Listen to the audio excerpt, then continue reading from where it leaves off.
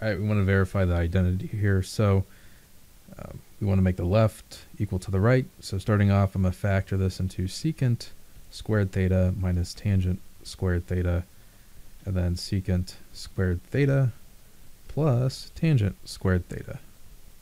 All right, so this identity is equal to 1. You'll just have to take my word for it. And then we're left over with um, just secant squared theta over tan plus tangent squared theta. Now I'm going to convert this into 1 over cosine squared theta plus sine squared theta over cosine squared theta. And I can combine 1 and sine theta because these have the same common denominator. So we have 1 plus sine squared theta over cosine squared theta. And um, this is a trig identity again.